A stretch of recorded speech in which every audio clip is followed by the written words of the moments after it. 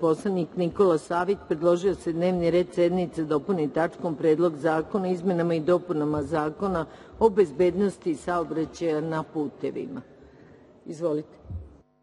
Dame i gospodo narodni poslanici, podneo sam još jedan predlog zakona da se, sa idejom da se uvrsti u dnevni red ove Skupštine i moram da kažem da mi je postalo bukvalno degutantno da na svakoj sednici e, obrazlažem ovaj zakon, zakon o bezbednosti saobraćaja na putevima, jer se radi o jednoj stvari za koju nije potreban nikakav novac, stvari za, za koju ne treba nikakva ovaj, veliko naprezanje, jednostavno samo se treba pogledati zakon i odlož, o, o, otkloniti neke elementarne nelogičnosti koje tamo stoje. Iako ova vlast, a to moramo priznati, moramo biti svesni, otvara puteve, radi na tome, uradili su zaista dosta i tu nema nikakvog spora, ali ova stvar vezano za bezbednost saobraćaja na putevima svakako da i ne ide u prilog.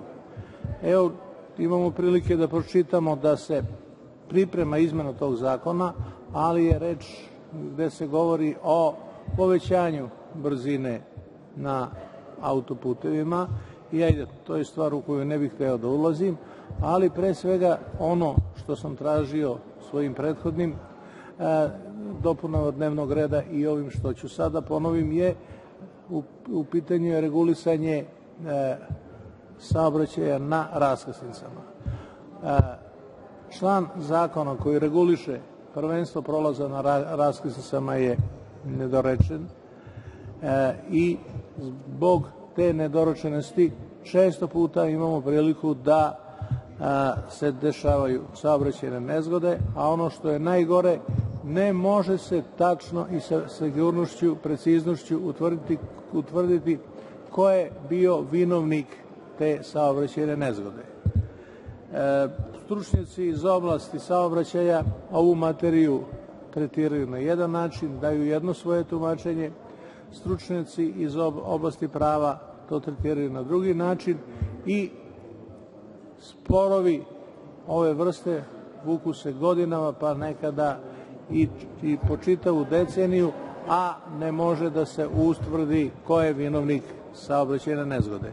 Zato smatram da ovde treba pod hitno ovu tačku uvrstiti u dnevni red, ispraviti ovde ovu nelogičnost, jer ovde nije potrebno ni novac, niti bilo šta, znači ovde nisu u pitanju kilometre autoputa, tuneli i sve ostalo, nego samo nekoliko rečenica izmeniti ili ih preformulisati kako bi e, stvari u ovoj oblasti bile jasnije.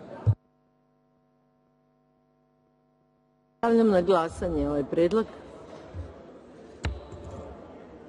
Sad ću da vam kažem kad je.